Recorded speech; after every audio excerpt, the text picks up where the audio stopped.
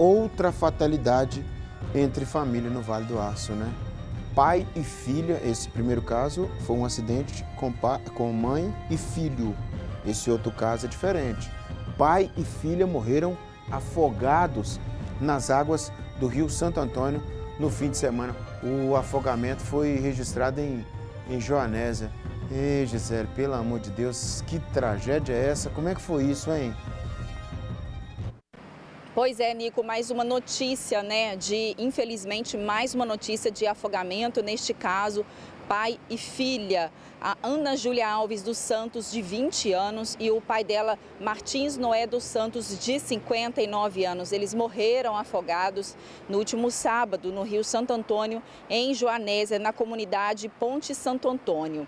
De acordo com os relatos da comunidade, as vítimas foram encontradas aproximadamente uma hora após o afogamento, a uma profundidade de 6 metros do Rio Santo Antônio. As circunstâncias exatas que levaram a este afogamento ainda serão investigadas. Volto com você, Nico.